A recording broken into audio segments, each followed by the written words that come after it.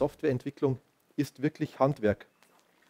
Es hat sich in den letzten Jahren so gezeigt, dass die Agilität, agile Vorgehensweisen haben sich so verbreitet. Ähm, man hat hier neue Werte wie Kundenorientierung, wie iteratives Vorgehen. Aber zum Beispiel im Scrum, es gibt eine ganz große Lücke im Scrum, das ist, wie setze ich es denn wirklich um? Das ist da in den ganzen agilen Methoden überhaupt nicht drin.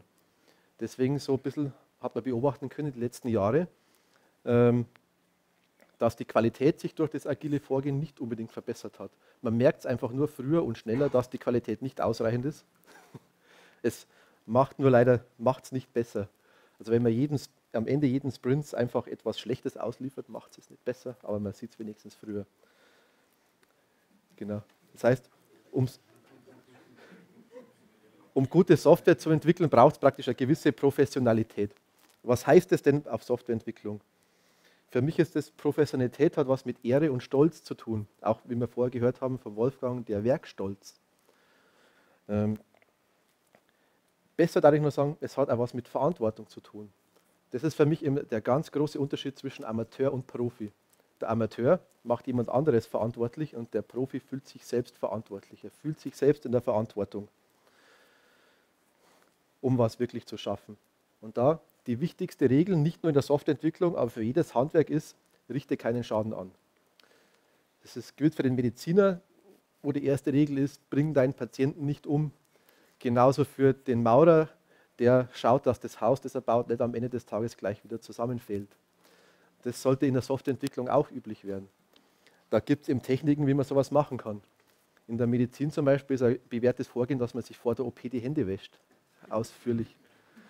Und ich denke nicht, dass ein Patient wirklich ernsthaft von einem Arzt verlangen wird, jetzt machen Sie mal zu, gehen Sie mal drei, operieren Sie mal, hören Sie mit dem Händewaschen auf, es pressiert.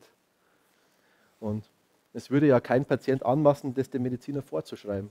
Ähnlich sollte es in der Softwareentwicklung auch laufen. Da ist es leider durchaus noch an der Tagesordnung, dass man da so seitwärts so Vorschriften dieser Art gemacht kriegt. Genau. Deswegen richte keinen Schaden an. Gibt es zwei Unterstufungen. Das erste ist an der Funktion. Also mache nichts kaputt, was schon mal funktioniert hat. Das erste.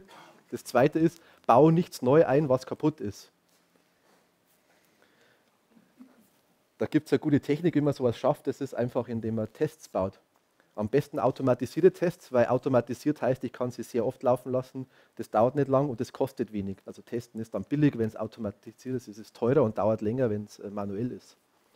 Deswegen ist so eine bewährte Technik hier, viele automatisierte Tests bauen. Ähm, idealerweise, wenn ich eine QA-Abteilung habe, also wirklich einen manuellen Tester, der ganz hinten im Prozess sitzt, dann darf der normalerweise nichts mehr finden. Also wenn Ihre QA-Abteilung einen Fehler findet, dann sollte sich der Handwerker, der es vorhin gebaut hat, wirklich in Grund und Boden schämen. Die QA darf nichts mehr finden. Deswegen Regel für Softwareentwickler, liefere nur etwas aus, von dem du weißt, dass es funktioniert und dass es keinen Schaden anrichtet. Das ist auch vor dem Hintergrund, dass Software mittlerweile auch wirklich in Bereichen läuft, wo Menschenleben davon abhängen.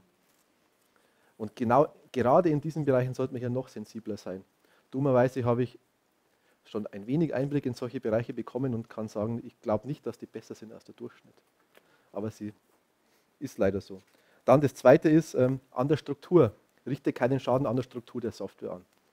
Von Software nimmt man ja immer an, dass sie leicht zu ändern ist und schnell zu ändern ist. Das ist so der implizite die implizite Annahme hinter jeder Softwareentwicklung, hinter jeder Fachabteilung, die ähm, Anforderungen stellt, ist ja die Annahme, das ist ja leicht zu ändern, ist ja nur Software. Das Problem ist, das gilt nicht immer. Das gilt eigentlich nur für gut strukturierte Software. Deswegen, es gibt ein gewisses Handwerkskönnen, zum Beispiel Richtung Architektur, Softwarearchitektur, das man können soll, um gut strukturierte Software zu bauen, die sich auch über die Dauer, über den gesamten Einsatz, der mehrere Jahre, teilweise Jahrzehnte, ich habe schon Software gesehen, Jahrzehnte im Einsatz ist, sich dann immer noch von der Struktur her ändern und weiterentwickeln lässt, ohne dass äh, der Aufwand zum Ende hin exponentiell mehr wird. Genau. Man muss sich wirklich im sicher, äh, bewusst machen, dass wenn man von dieser Regel abweicht, dass man dann damit das, für die gesamte weitere Laufzeit das in Kauf nimmt, dass Änderungen immer teurer und immer teurer werden. Also auch hier immer sauber arbeiten. Ähm, sehr schön ist da die Pfadfinderregel, die man hier übertragen kann, ist, ähm, praktisch verlasse den Code immer sauberer aus, du ihn vorgefunden hast. Also wenn man in seiner Tätigkeit als Entwickler was findet, was einem nicht gefällt, dann soll man es aufräumen und schöner machen. Genau. Der Hintergrund ist einfach, schreibe perfekte Software. Unser Anspruch ist, perfekte Software zu schreiben und auszuliefern. Nichts anderes sollte der Anspruch sein. Und übernimm vorher das Thema Verantwortung des Craftsman, übernehm für jede Abweichung von der Perfektion die volle Verantwortung. Da kommen wir wieder rein, das nächste große Thema, Arbeitsethik. Was bedeutet Arbeitsethik denn für einen Software-Craftsman? Das geht für mich schon mal los beim Planen der eigenen Karriere.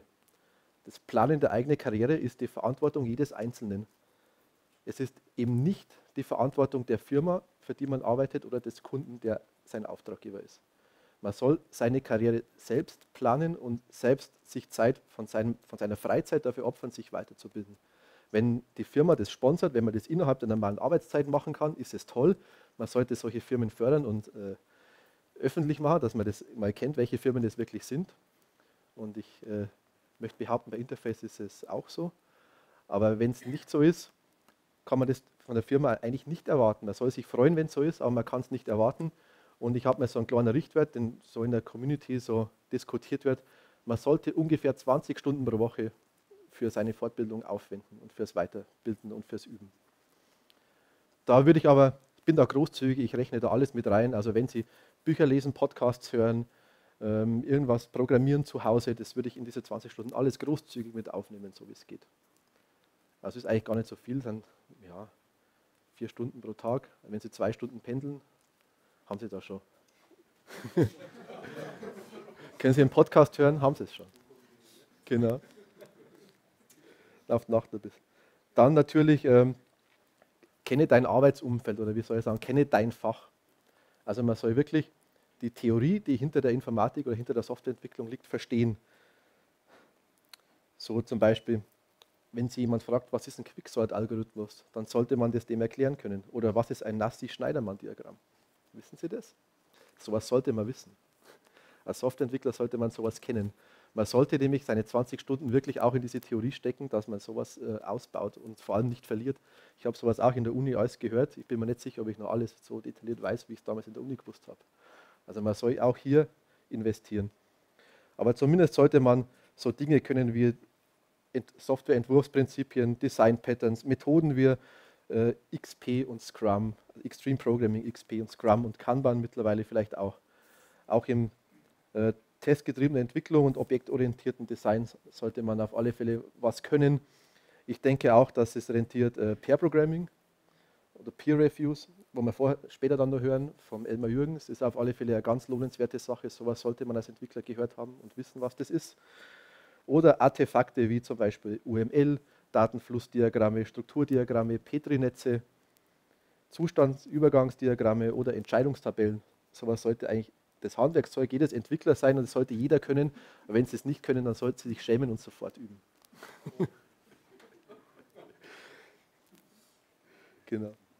Es schadet auch nicht als Softwareentwickler, wenn man die Fachlichkeit kennt der Software, die man baut. Wenn Sie ein Buchhaltungssystem bauen, dann ist es nicht toll, wenn Sie keine Ahnung von Buchhaltung haben. Sie, soll, Sie müssen kein Experte in Buchhaltung sein, aber bitte Grundwissen sich anzueignen, sollte eigentlich selbstverständlich sein. Also jeder Craftsman, würde ich sagen, soll sich die Fachlichkeit, die er bedient, ähm, sich darin einarbeiten und halt dann zumindest rudimentär was über Buchhaltung dann lernen zum Beispiel.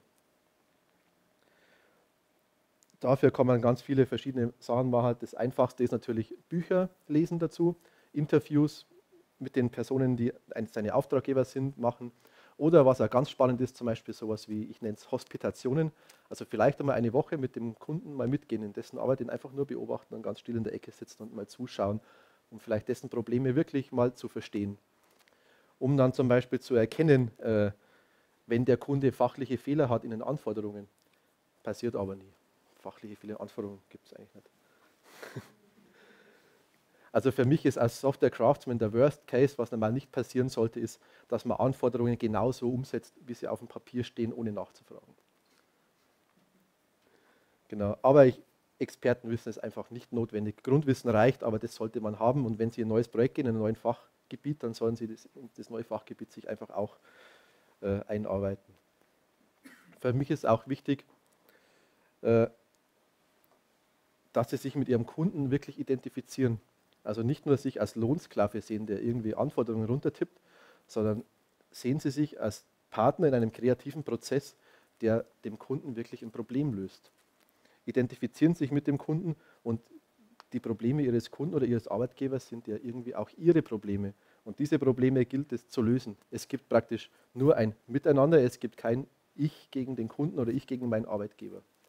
Es sollte nur ein Miteinander geben.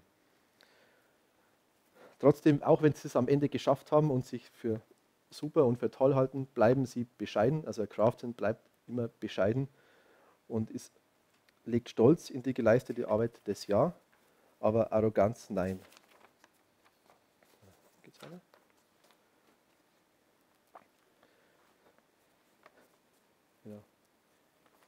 Wichtig ist für mich auch, dass man kalkulierte Risiken eingeht. Also man kann kein hohes Ziel erreichen, ohne ein Risiko einzugehen. Aber ein unkalkuliertes Risiko einzugehen, finde ich nicht gut. Also da ist eben Ihr Handwerkszeug gefragt, dass Sie wissen, was ist ein kalkulierbares Risiko, was ist ein nicht kalkulierbares Risiko. Man sollte nur kalkulierte Risiken eingehen, nicht unkalkuliert. Und natürlich ist es, glaube ich, auch nicht angebracht, ist ein Problem, das, glaube ich, auch in der IT, vor allem in der Softwareentwicklung oft ist, man ist zu schüchtern. Sei als Entwickler nicht schüchtern. Man darf durchaus auch kritisch nachfragen, kritisch hinterfragen und kritisch mitarbeiten. Ähm, man muss sich aber trotzdem, auch wenn man noch so gut ist und wenn man noch so sein Handwerkszeug beherrscht, einfach gewahr sein, dass jeder mal scheitern wird. Es gibt keinen Menschen, ich habe, vielleicht gibt es den, aber ich habe auch selten nur jemanden getroffen, der immer in allem erfolgreich war. Also jeder, auch wenn er noch so gut ist, wird irgendwann mal scheitern. Genau. Da ist einfach, was ist denn das notwendige Handwerkszeug, das ich da brauche? Habe ich noch ein bisschen? Ein bisschen. Wir brauchen immer noch. Das Wichtigste ist als Craftsman, dass man auch mal Nein sagt. Sie müssen nicht zu allem Ja sagen. Auch kritisch hinterfragen ist erlaubt. Es gibt so einen weisen Mann, der hat mir gesagt, tu es oder tu es nicht, es gibt kein Versuchen. War so klein und grün und irgendwie der äh, Großmeister aller Jedi oder so. genau. Projekte sind gut, wenn es da auch gegensätzliche Rollen und Charaktere gibt die perfekte Harmonie ist nicht immer gut. Man sollte sich ein Team oder auch immer ein Gegenüber suchen, mit dem man sich mal reiben kann. Das ist auf alle Fälle von Vorteil. Aber natürlich immer agieren auf Augenhöhe. Also es gibt keinen, der eine ordnet sich unter den anderen.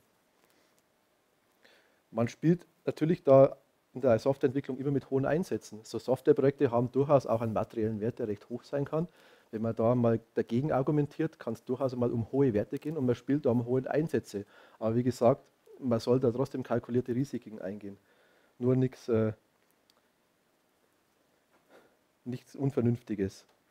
Genau, man soll auch als Software-Craftsman nichts versprechen, wo einem im Moment des Versprechens schon klar ist, dass es unmöglich ist. Wenn ich Ihnen jetzt verspreche, die tolle Anwendung in drei Tagen hinzustellen, dann weiß ich das beim Versprechen schon, dass das nicht passieren wird. Und das sollte man auch nicht tun, auch wenn das vielleicht schmerzhaft ist und dann zu keine Ahnung welchen Eskalationsstufen führt. Trotzdem soll man es nicht tun, etwas Unmögliches zu versprechen. Aber man soll nicht immer nur Nein sagen. Man darf auch Ja sagen. Also der prägnante Satz ist, sage es, meine es und tue es. Nicht, wir müssen schneller werden oder wir brauchen neue Hardware. Das ist so Allgemeinplätze, sondern ich fühle mich verpflichtet, hier was zu ändern. Ich fühle mich verpflichtet, äh, mich darum zu kümmern. Ich erledige das bis morgen. Also auch mal Ja sagen, die Verantwortung übernehmen, etwas wirklich zu tun. Auch wenn man, es ist klar, dass man nicht immer alles in der Hand hat. Es gibt natürlich Schnittstellen zu anderen Teilen der Organisation. Trotzdem hat man einen gewissen kleinen Teil immer unter Kontrolle und für den sollte man die Verantwortung übernehmen und bei dem Rest sollte man sich immerhin darum kümmern, so gut es irgendwie geht.